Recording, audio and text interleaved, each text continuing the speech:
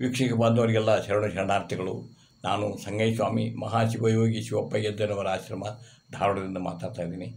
ಇವತ್ತಿನ ವಿಷಯ ಏನಪ್ಪ ಅಂತಂದ್ರೆ, ಮಲಬದ್ಧತೆ ಕಾನ್ಸ್ಟಿಫಿಕೇಷನ್ ಅಂತಾರಲ್ಲ ಮಲಬದ್ಧತೆ. ಮುಂಜಾನೆ ಎದ್ದು ಕೂಡ ಇದು ತ್ರಾಸು ಬಿಟ್ಟು ಮನೋವಿಸರ್ಜನೆ ಆಗೋದೇ ಇಲ್ಲ. ಕೆಲವ್ರಿಗಂತೂ ಎರಡು ದಿನಕ್ಕೆ, ಮೂರು ದಿನಕ್ಕೆ ಆಕೈತಿ ಕೆಲವ್ರಿಗೆ ಇದು ಆಗುತ್ತೆ ಒಂದು ಹಂಗಂಗೆ ಮಾಡ್ಕೊತ ಅದರೊಂದು ಯಾವುದು ಇದು ಮಾಡ್ತಾರಲ್ಲ ಡಯಾಲಿಸಿಸ್ ಮಾಡಿಸ್ಬೇಕಂತ. ಹಂಗಾಗತ್ತೆ. ಏನು ಅದಕ್ಕೆ ಅದನ್ನೆಲ್ಲ ತಡಿಬೇಕಪ್ಪ ಅಂದ್ರೆ ಈ ಔಷಧ ಮಾಡ್ಬೇಕು ನೀವು ಮಲಬದ್ಧತೆಗೆ ಇದನ್ನು ಮಾಡೋದು ಮನೆ ಮದ್ದು ಮಾಡೋದ್ರಿಂದ ಏನಾಗುತ್ತಪ್ಪ ಅಂದ್ರೆ ಯಾವ ಥರದ ಅಡ್ಡ ಪರಿಣಾಮ ಇರೋದಿಲ್ಲ ಏನು ಮಾಡಿ ಇದ್ರ ಉಪಯೋಗ ತೊಗೊರಿ, ಅಗಸಿ ಪುಡಿ ತಿಂತೀರಿ. ಹೌದಲ್ಲ? ಹಂಗೆ ಅದನ್ನು ಹೇಳ್ತೀನಿ ನಾನು. ಏನು ನಿಮ್ಗೆ, ನಮ್ಮ ಆಶ್ರಮದ ಉದ್ದೇಶ ಏನೈತಪ್ಪ ಅಂದ್ರೆ ನಿಮಗೆ ನೀವೇ ವೈದ್ಯರಾಗಬೇಕು, ನಿಮ್ಮ ಅಡುಗೆ ಮನೆ, ನಿಮ್ಮ ಔಷಧಾಲಯ ಆಗಬೇಕು ಅನ್ನೋದು ನಮ್ಮ ಆಶ್ರಮದ ಉದ್ದೇಶ. ಏನು ಇದನ್ನು ಹೋಗಲಾಡ್ಸಕ್ಕೆ ಮಲಬದ್ಧತೆ ಹೋಗಲಾಡ್ಸಕ್ಕೆ ಏನು ಮಾಡ್ಬೇಕಪ್ಪ ಅಂದ್ರೆ ಒಂದು ಕಿತ್ತಳಿ ಹಣ್ಣು. ಏನು ಕಿತ್ತಳಿ ಹಣ್ಣು ತೊಗೋಬೇಕು.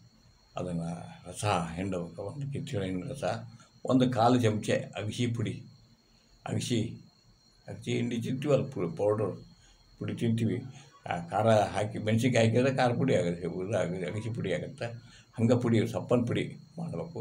ಮಾಡಿ ಅದಕ್ಕೆ ಇದನ್ನು ಕಿತ್ತಳೆ ಹಣ್ಣಿನ ರಸಕ್ಕೆ ಒಂದು ಕಾಲು ಚಮಚ ಅದನ್ನು ಹಾಕ್ಕೊಂಡು ಕುಡಿಬೇಕು.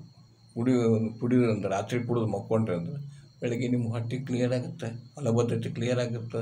ಹಿಂಗೆ ಸಿಮಿಲ್ಟನ್ಸ್ ಆಗಿದೆ ಎಷ್ಟು ದಿನ ಕುಡಿಬೇಕಂದ್ರೆ ನಿಮಗೆ ಸಾಕು ಕುಡಿರೋಣ ಇದೇನು ಸೈಡ್ ಎಫೆಕ್ಟ್ ಇಲ್ಲ, ಏನಿಲ್ಲ. ಏನು ಕಿತ್ತಳೆ ಹಣ್ಣು ತಿಂತೀರಿ? ತಿನ್ನೋದೈತಿ. ಏನು ಅಗಸಿ ಹಿಂಡಿ ಚಟ್ನಿ, ಪುಡಿ ಪೌಡ್ರ್ ಅಂತ ತಿಂದ ತಿಂತೀರಿ. ಅಗಸಿ ಚಟ್ನಿ ತಿಂತೀರಿ ಕಿತ್ತಳೆ ಹಣ್ಣು ತಿಂತೀರಿ. ಇದರಿಂದ ಯಾವ ಥರದ ಅಡ್ಡ ಪರಿಣಾಮ ಅದು ಇದು ಏನೂ ಇಲ್ಲ. ಸುಮ್ಮನೆ ನಾವು ಪಿಜ್ಜಾ ಬರ್ಗರ್ ಅವು ಇವು ತಿನ್ನೋ ಬದಲಿ ಅದನ್ನು ಬಿಟ್ಟು ಏನು ಇವ್ನು ಮಾಡಿದಂದ್ರೆ ಬಿಸ್ಕಿಟ್ಗೆ, ಬ್ರೆಡ್ಗೆ ಭಾಳ ಕಾನ್ಸಿಫಿಕೇಶನ್ ಜಾಸ್ತಿ ಆಗುತ್ತೆ ಅದಕ್ಕೆ. ಮಲಬದ್ಧತೆ ಜಾಸ್ತಿ ಆಗುವ ವಿಷಯ ಯಾವಪ್ಪ ಅಂದ್ರೆ ಬೇ, ಬೇಕರಿ ತಿನಿಸುಗಳು ಇರ್ತಾವಲ್ಲ, ಅವ್ನು ತಿಂದ್ರೆ ಅಂದ್ರೆ ಭಾಳ ಇದಾಗತ್ತೆ. ಬೇ, ನಾವು ಇಂಡಿವಿಜುವಲ್ ಒಂದೊಂದು ಹೇಳಿದ್ರೆ ಭಾಳ ನಾನು ಕೆಟ್ಟಾಕಿನಿ ಅದಕ್ಕೆ ಏನಪ್ಪ ಅಂದ್ರೆ ನೀವು ಆದಷ್ಟು ಬೇಕ್ರಿ ತಿನ್ನೋದು ಕಡಿಮೆ ಮಾಡಬೇಕು. ಮತ್ತು ಇವು ಬರ್ತಾವಲ್ಲ, ಅವು ಏನು? ಪಿಜ್ಜಾ, ಬರ್ಗರ, ಅವು ಇವು ಅಂತಾರೆ ಅವನ್ನೆಲ್ಲ ತಿನ್ನೋದು ಕಡಿಮೆ ಮಾಡಿದಷ್ಟು ಎಷ್ಟು ತಿಂತೀರಿ, ಎಷ್ಟು ಕಡಿಮೆ ಮಾಡ್ತೀರಿ, ಅಷ್ಟು ಒಳ್ಳೆಯದು ಮತ್ತು, ಇದನ್ನು ಮಾಡಿ, ಇದು ಉಪಯೋಗ ತೊಗೊಂಡು ಫುಡ್ ಸ್ಟೈಲ್ ಚೇಂಜ್ ಮಾಡ್ಕೋಬೇಕು.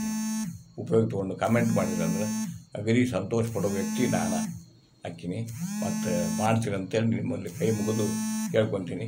ಮತ್ತು ನಮ್ಮ ಸ್ಲೋಗನ್ ಐತಲ್ಲ, ರೈತನೇ ರಾಜ, ರೈತನೇ ಕುಬೇರ, ರೈತನೇ ಮಹಾರಾಜ. ಇದು ಗಳಿಕೆ ಆಶ್ರಮ ಅಲ್ಲವಯ್ಯ ಬಳಕೆ ಆಶ್ರಮ. ಮತ್ತಿಂಥದ ಮಾಹಿತಿ ತೊಗೊಂಡು ಬಿಟ್ಟೇಕಿನಿ. ಅಲ್ಲಿವರೆಗೂ ನನ್ನ ಶರಣ ಶರಣಾರ್ಥಿಗಳು.